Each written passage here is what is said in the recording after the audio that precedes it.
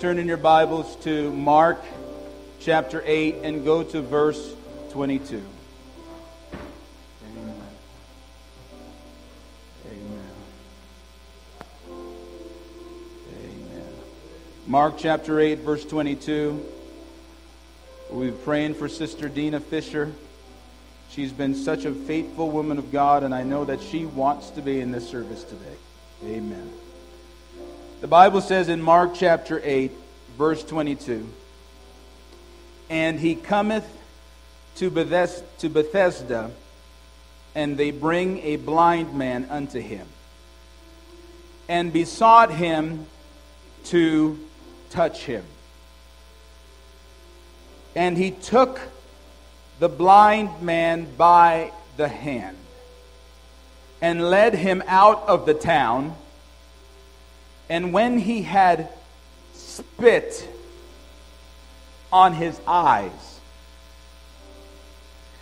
you know, Jesus does some different things, doesn't he? Amen. He spit on his eyes and put his hands upon him he asked him if he saw aught. And he looked up and said, I see men as trees walking. After that, he put his hands again upon his eyes and made him look up. And he was restored and saw every man clearly and he sent him away to his house, saying, This is so very important. Neither go into the town, nor tell it to any in the town. Close our Bibles and bow our heads. Lord, we thank you so very much for your word. Lord, help it to show us through your word our way, our path, our direction. We ask for this in Jesus' name. And everyone said, Amen. You may be seated. Perspective is everything, isn't it? Some people see the glass half full, others people, other people see the glass half empty. Some people are happy that they have a job, and some people wish they had another job. Perspective is a lot, has a lot to do with the person doing the prospecting or the thinking or using their faculties for, shall we say, interpreting life. Perspective means a lot to the individual who is using their mind to understand their surroundings. Amen? This portion of Scripture is extremely unique. If you ever want a great roller coaster ride, go through Mark chapter 8. It is incredibly filled with so much fruit. It's a wonderful passage, it's a wonderful portion of Scripture in the Word of God. There is unique to this particular passage is there's never been a partial healing ever recorded in the Word of God outside in Jesus' ministry, but this particular blind man. You see, perspective is everything. The context of this particular healing is extremely different than blind Bartimaeus. And when you begin to look at in the scriptures healing, how many times they occur, it, it occurs a lot. Jesus had a desire to see people who could not see have sight. Healing of the blind is one of the most recorded miracles that Jesus was constantly doing. He wanted people to see. He loved it when people would ask for him to touch them. And then when he would touch them, their eyes would open and they would see things that they could never see before. Now, blind Bartimaeus, when he got healed, it was different than this guy. Blind Bartimaeus was smart. He was boisterous. He was not like this guy. And God has a way. It doesn't matter what your personality is like, it doesn't matter who you are. He knows how to. Blind Bartimaeus is when Jesus went by, he said, Oh, thou son of David. He was appealing to Jesus' earthly ascent to the throne. And by faith, he was calling out his healing. In fact, Jesus didn't even stop by to give him recognition the first time. Jesus, thou son of David. He was an obnoxious kind of guy, the kind of guy that if Jesus was in the vicinity and he had the opportunity, he was not going to allow Jesus to get by without giving him his healing. Amen. There's some people that they just come to church and they just want to go through the motions. There's other people when they come to the house of God, they're here because they mean business. They want to get a hold of Almighty God. They're not just showing up, they are here to touch the throne of God. Jesus, thou son of David, have mercy on.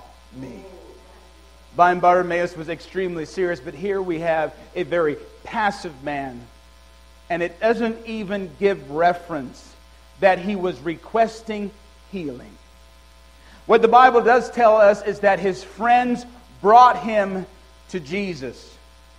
There's some very significant things about this particular city called Bethsaida. Bethsaida is where this blind man lived extremely close to. And the Bible tells us that his friends brought him. I'm thankful anytime a friend brings somebody to the house of God. Amen? It's an awesome thing.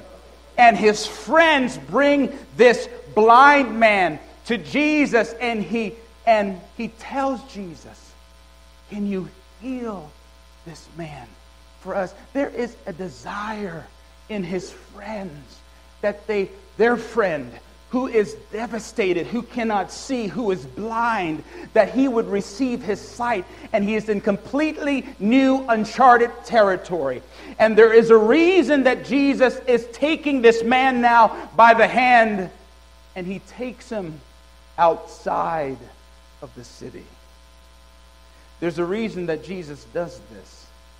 You see, in Matthew chapter 11, verse 22 to verse 26, Jesus had pronounced a curse over Bethsaida. And he said to the, the people that lived in that region, Because of your unbelief, you will not see the things of God. So Jesus had already pronounced a judgment. That man being from that region, he had to take the man outside that particular region in order for him to touch him. The other thing that Jesus had to do was he also now had to relinquish control from his friends. You see, his friends had a tremendous amount of influence over him. They knew him as a blind man. That's all they had ever seen or known of him. But in order for someone to be seen and to be acknowledged in a different place and a different time, in order for somebody to receive sight, it has to be done by the person who can see beyond what they have ever seen before. And his friends could not get him there. So now Jesus takes his hand. And his friends watch as this blind man walks away with Jesus. One of the other things that we have to understand about this particular passage of Scripture is he's not the only one on the journey. He's not the only one from Bethsaida. Andrew, Philip, and Peter were from Bethsaida also. This is not just a blind man's journey. This is a journey of four men who have to learn how not to rely on family and friends and other things. They are strictly on a journey alone now with Jesus Christ and Him alone. Many of us, we want to try to get to the next level in our relationship with God. There's going to be at times that you cannot bring everyone with you. Your mom's not going to understand. Your dad may not understand. Your friends in high school may not understand. Your friends in college that you used to be lifelong buddies with, they may not understand because your perceptive begins to slowly change as you begin to walk with this man called Jesus. And I'm going to title this quick, very simply today Do you want to be? As he now begins his journey out of Bethsaida. And he is now breaking away from his, his companions. You have to understand what's now happening to this blind man. When you lack perception, you need the familiar. Let me say this again. When you lack, why don't you say it with me? When you lack perception, you need the familiar. What begins to happen here is this blind man, he knows the sounds of his friends, and he understands and knows the hustle and the bustle of the city. He does not understand where he's headed. He knows the smells of Bethsaida. He understands exactly how the city works in Bethsaida. He knows the bells of the synagogue. He understands all these things because he's used to it. He knows how to get around in Bethsaida because he is familiar with that place. But when you lack perception, and now all of a sudden Jesus is taking you to a place that you've never been before, that you don't know that it takes 14 steps to get to the bathroom, and it takes 13 steps to get to the counter, and it takes 18 steps, turn a right in the bedroom, and then I can get to the faucet. When you're taken out of your comfort zone and you don't understand what's going on, all of a sudden, it blows your perspective because you're no longer in the familiar. And when you're not in the familiar, you need a perspective that's going to get you to where Jesus is taking you. And we get our perspective from the Word of God. Let's give the Lord a good hand clap of praise. Amen. Amen. So here he is, and he is on this journey with Jesus, and he is, his mind is getting blown. You see, when you are losing your familiar surroundings, perspective is so different. Because now he is walking with a man that he doesn't know. He doesn't know the scent of Jesus. He doesn't know the smell of Jesus. He doesn't know the voice of Jesus. He doesn't know the clothing that Jesus wears. He doesn't know the cadence that Jesus walks in. But Jesus is taking him by the hand. And you go through the Bible, there are very few people that Jesus leads with him. But this man who has no familiar surroundings has to become very closely joined to Jesus Christ. You see, because when you lack perspective, you don't know what's coming around the corner. And the problem with the blind man is because he cannot see. He has to rely on the perception of the one who's directing him, who's guiding him, and who's taking him in a place that he has never ever been before. The problem is when you're blind, your mind can play tricks with you. You see, when you're going on a road that you've never traveled before and you, you hit a pothole and you can't see beyond that pothole, all of a sudden your body gyrates because you're in unbalanced area. And before you take your next step, you don't know if you're going into a deeper hole. And so instead of trying to navigate it on your own, you have to then tense up and you begin to even grasp the one who's leading you even more. Have you ever taken somebody who's blind across the road? That's right there's a couple things that happen. If it's, a, if it's not a busy intersection and they're familiar with the area, out of respect and kindness, they will put their hands on your shoulder and they will allow you to take them from point A to point B. But if it's unfamiliar, they grab your arm and they try to walk step in step with you. And they do something to calm themselves. You'll notice that they talk to you a lot. There's a couple reasons that they do that. They want to make sure that you're comfortable because of the closeness that they have to now get to you. And they want to make sure that as you are leading them and guiding them, that you're comfortable. And if they know they can get you comfortable, they'll be comfortable too. See, the problem with perception, when we don't have it, it turns our world upside down. And we don't understand what Jesus is getting at. I want to go back to friends and see and, and kind of go through how friends hurt our perspective. People love us, don't they? You got friends, you got family. Amen. Don't they love you? Don't they have wonderful intentions? Amen. Remember when you were coming to a Pentecostal church your first time and you had to give up this and give up that? And all of a sudden your family, they saw the change that was happening inside your life and they had so many questions. It wasn't that they didn't love you, they loved you, but they couldn't understand what was happening in your life. And just out of a love and a compassion, they didn't understand who was actually leading you and directing your life and guiding you along the road of life. They didn't understand that you were charting your course, you were leaving a perspective behind, and you were taking on to now a kingdom perspective. And those are different than what they know. They don't know how to navigate inside that world at all.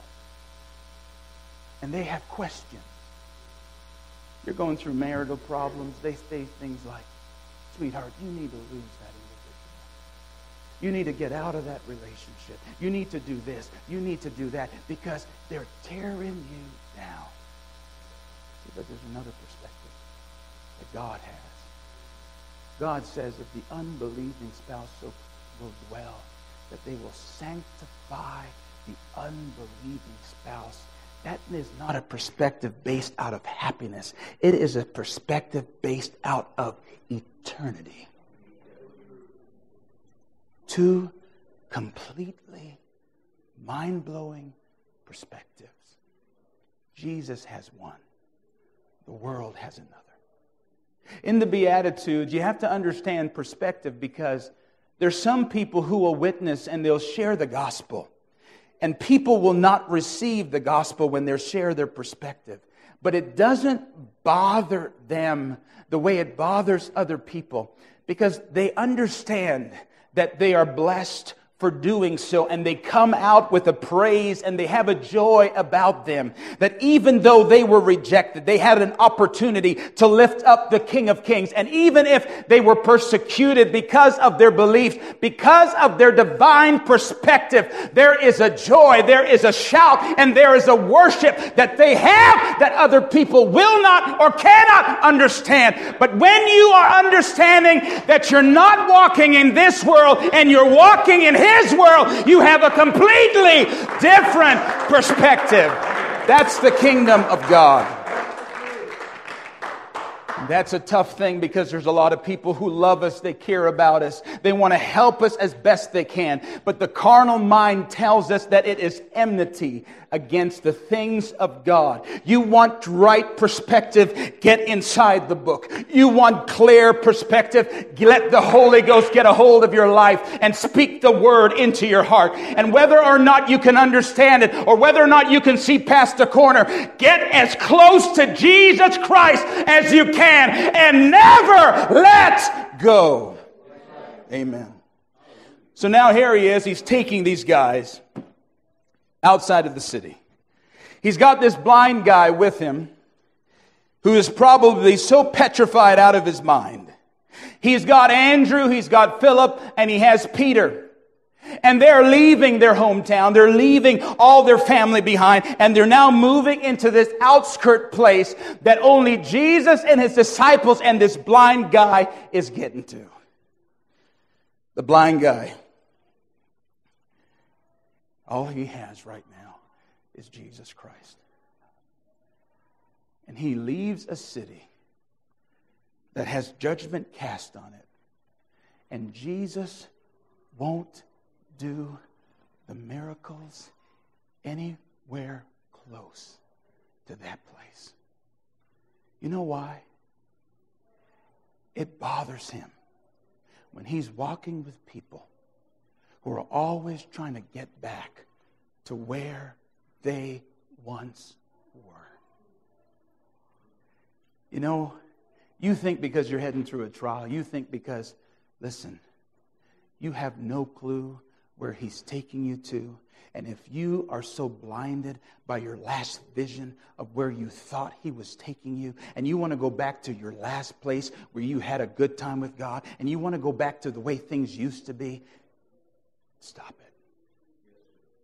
God is taking you with him to a new level. And the only way to get to a new level is you have to leave some things behind and you have to get onto the master's hand. You have got to get a new perspective. Old things have to pass away. Amen. And so we're walking with Jesus. He's taking his people with him. And then Jesus does something. Now, remember who he's got. He's got residents of Bethsaida with him, he's got this blind guy with him, and he is leading them all out of the city. And he asked this man, he said, Can you see? Jesus already knew if he could see before he asked him. But he wants the man to answer back to him and explain what he does see. He doesn't see everything very clearly. You see, the Bible tells us that we won't see ourselves as who and what we are. But until we get redeemed, until we get to heaven, then we'll see everything as clearly as we need to see everything. And he asked this guy, Well, what exactly do you see? And there's a partial healing that's actually taking place in that man. Is he better? He's better. He's better than what he once was. He had no sight. He had no perception. Now he's actually beginning to know that there's something happening with his sight that he had never known or seen before. He doesn't have the full truth. He doesn't know what everything is going to be about. All he knows is that God has given him some ability to see. I wonder if he was getting excited about that time. You see, up until about that time, all he had heard about was Jesus. He had never experienced who Jesus was. He had never experienced the presence of God. He had never experienced the miraculous. And all of a sudden, his friends brought him to Jesus. His friends transferred him over to Jesus. Jesus didn't leave him where he was. Jesus decided, you're one of my child children. You're one of my sons. I'm going to take you personally outside of this place, outside of this world, and I will redeem you and heal you and do some things in your life that you'll never, ever see before. And I wonder how many of us today can see better than when He found us. That's a powerful thing. He never just left me there, He took me with Him. You see, my perception is pretty dull. I don't understand the things of eternity but you see, the Word of God tells me how important that those things are. You see, people don't understand in our world today why we want to be holy people, but the Bible says, they that seek after righteousness, hunger and thirst after righteousness. Theirs is the kingdom of God. It's a completely different perception than what they know. They don't understand that we're actually giving ourselves wholly unto the only one who can get us to a place that we can leave this world behind and give us an opportunity to walk with him into his world. That's an awesome thing. Jesus gets out there. He's better. Wouldn't you say he's better? Amen. Is it Sleepy Sunday? It rained today. Do you all feel a little sleepy today? Are you with me? Can somebody shout hallelujah? Amen. Let me know I'm not doing that bad of a job. So he comes, he comes out there, and Jesus has him. Jesus has been ministering to this man. He's getting better. And I'll tell you what happens when you start to see, when people begin to get around you and they see what God is doing in your life, it begins to spread. You see, just before this, Jesus is ministering to his disciples. His disciples in Mark chapter 8, in the very beginning, they have just fed 4,000 people. And after the feeding of the 4,000, they have to, Jesus comes in, in direct contact with the Pharisees. Now, Jesus has fed the 4,000 folks, okay? It'd be pretty awesome to see that, wouldn't it? Just to see that. We have a basket up here, we have a church, and we tell 4,000 people to come, and the delivery truck doesn't show up. And people call me and say, Pastor, can you pray over the food? And I said, No, get somebody else, because if this doesn't work, I don't want my name attached to it. So we get over here and we pray over the food. And we have a big lineup outside. Now, get me, get me here. Help me out. And everybody decides that they're going to come through that door and they're going to get to the basket of food and they're going to start taking food out. And everybody who reaches their hand in that basket, they get fed. They're going to know. You want to go get fed? Where do you come? Go to New Life Pentecostal Church. Because they're doing something crazy over there. They're feeding all sorts of people. Amen. All right. They just went through that miracle. They had two boat rides, and just after their second boat ride, they're hungry. And they forgot a loaf of bread. And you know what they do? They start murmuring and complaining. What are we going to do? How are we going to eat today? Oh, my goodness. Who you hanging out with, boys? Who you who you've been following for the last three years? You know what's so ridiculous? We are so able to abstractly replace ourselves from their particular situation, but yet we do the same thing on a daily basis. We look at them like they're the three students, but you know what? We might find ourselves a part of the whole process as well. And they're arguing. They just had this happen. And they're arguing over lunch.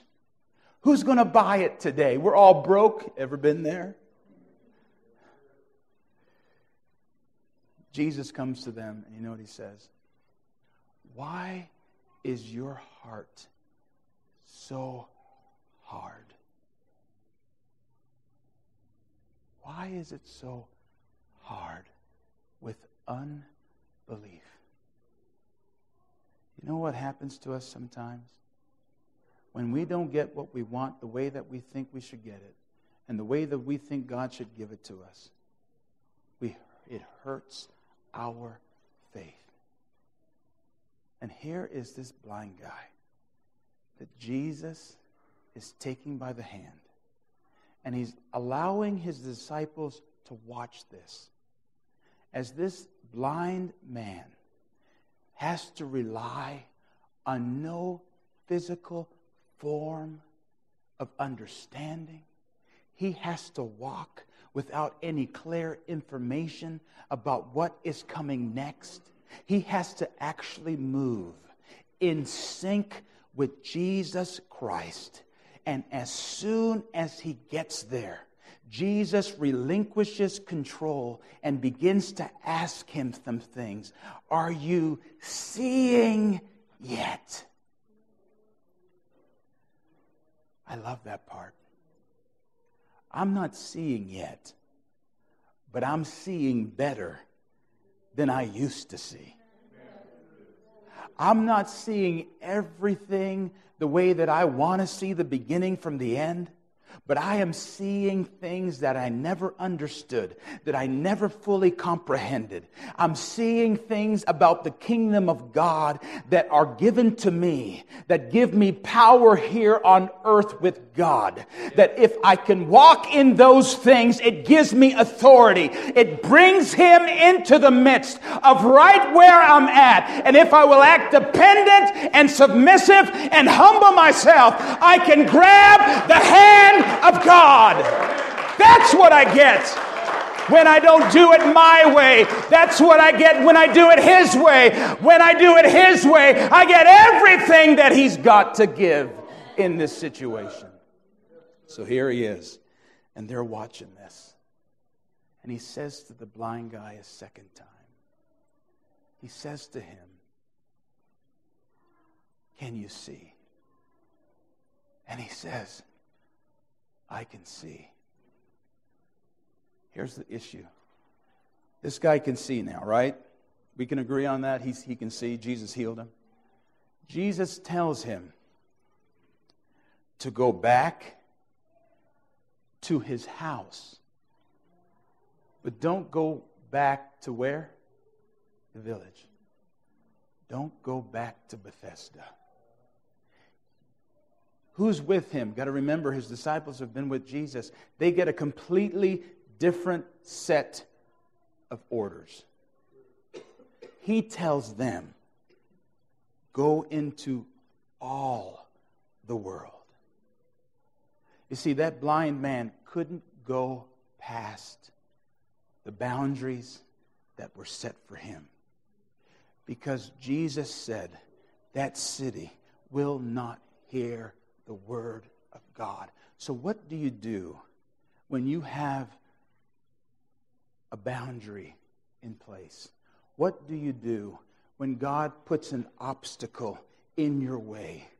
He didn't even tell the blind man, go back, get your friends. In fact, if his friends were from that city, what could possibly happen to his friends, what do you do when you have an obstacle and God actually decides that He's not going to allow you to go to a particular place? It's tough, isn't it? Have you ever had a friend that you loved that when God was doing a great work in your life, you were sure that you could get them to come to church with you? And you just loved that person and they were they meant the world to you and you were going to you were going to be the one you were going to get them in church and it seemed like everything you did they would get as far away from you as they could possibly go and that's a tough thing. It, it, it, bothers, it blows our mind when there's issues and things in our life that we can't get control of. And Jesus didn't give us that particular assignment to be the one that would be their Savior. But He did give us another assignment. That means we have to learn His kingdom. We have to learn where He has given us the authority. Let's all get ready to stand. We're getting ready to close, and Sister Valley, if you can help me. Amen. This is the part that gets exciting for me. You see, Sometimes it's so frustrating when we come to church and we have good church and we have good revival. And we learn some things in here that stir us, they move us. And we start getting filled with a heart of compassion and we start feeling that God, you're going to use my life to do some incredible things. And when you go as you're, you're a young man, and there's some young people here, and we can see them and they're singing. And I pray that we get behind them every opportunity that I get. You see them, you see them getting up here to sing. I want them to feel like they're the biggest rock star that ever walked across a platform because they're lifting up the presence of Almighty God. And I pray that if we can treat them here like we want them here and they matter here, then they may want to stay here and when raise their families here and do all the things that they need to do here. Amen? So they're doing that.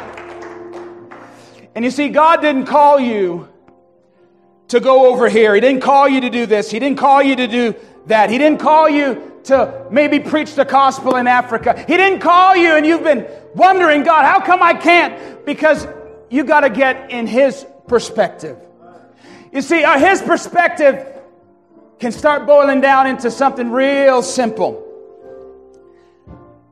God wants us to be faithful. Wow.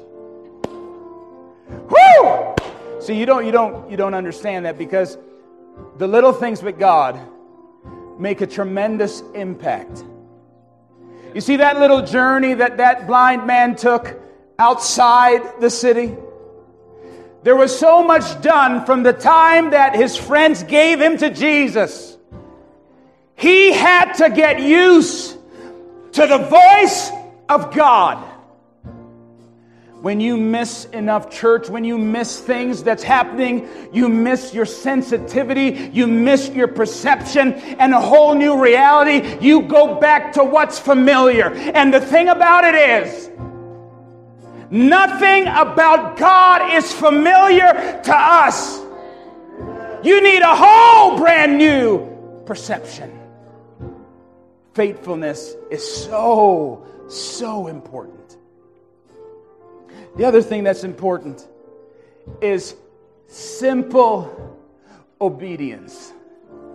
Oh man, that's a lot.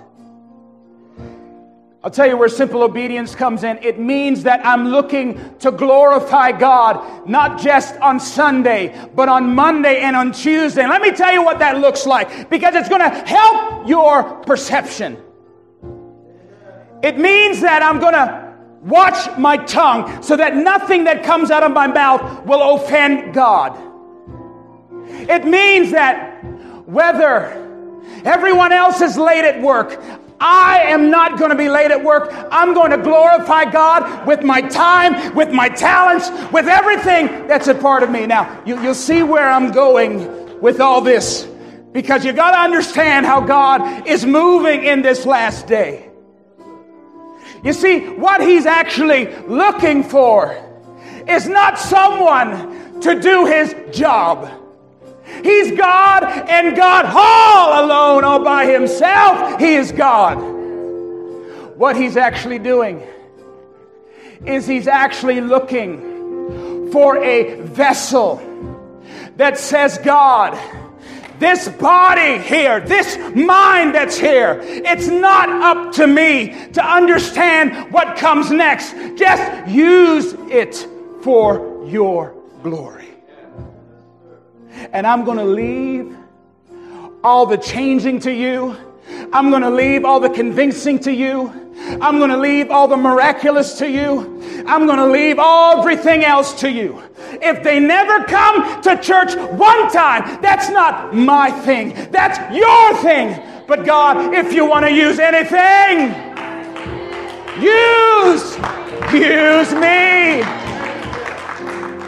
You see, to get to that place, you can't be looking at what everyone else is looking at. Success in this world is not the same success in His world.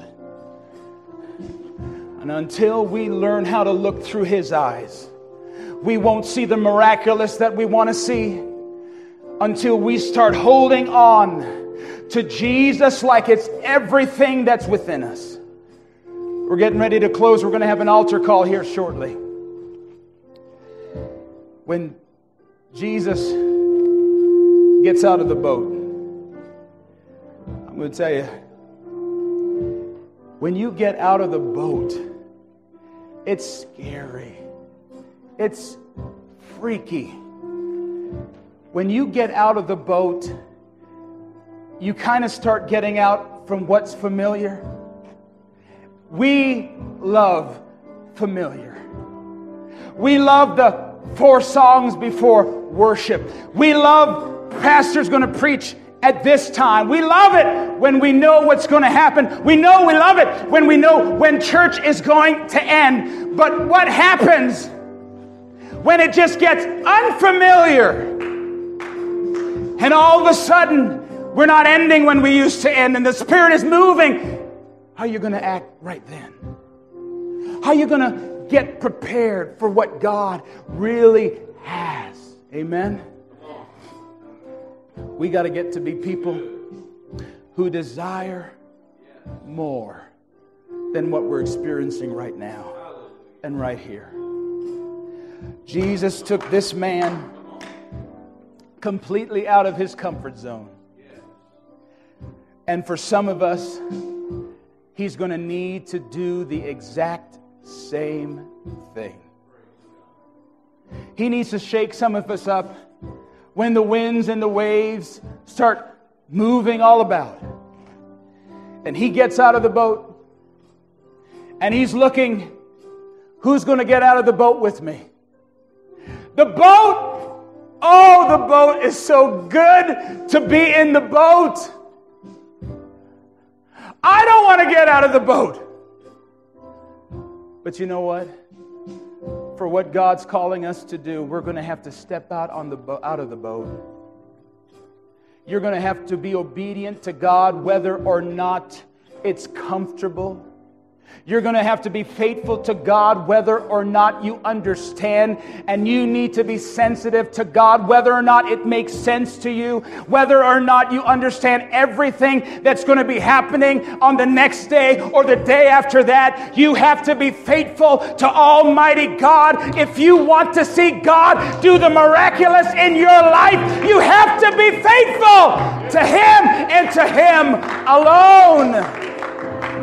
Hallelujah, Jesus. I'll tell you something. There's been some things happening in our church. There's been some people. They're seeing things they've never seen before. They are, God is moving them in a different direction. And I've been noticing now that they have a stronger desire. It's not just, I want to pray, it's God, I want to pray more. I want to, I want to do this. They're, they're not missing services. They're, they're being faithful. Their families here. They're, they're indrenching, indoctrinating them with the Word of God. They're getting them ready for what God is getting ready to do. And they have a desire for the things of God. And one of the things I pray that we get in our hearts that this world is temporary this world will pass away. The car, the job, the hustle, the bustle, the clothes, the prestige, the esteem, it's to go. But what we do for God is going to last. It will endure to the end. Hallelujah. I don't want to take up any more time. But I do want us to come to an altar and get prepared right now for what God is getting ready to do in this church, in this city, and in this world. I pray, God, that you'd have your way in a miraculous way. Get our perspective, God, in the line with you. Jesus, help us to get our perspective, oh God, in line with what you're doing. Help us, God, to get on move with you. Help us to understand what you're doing. We may not understand, God, where we're at right now, but you're doing something, God, with us, Lord.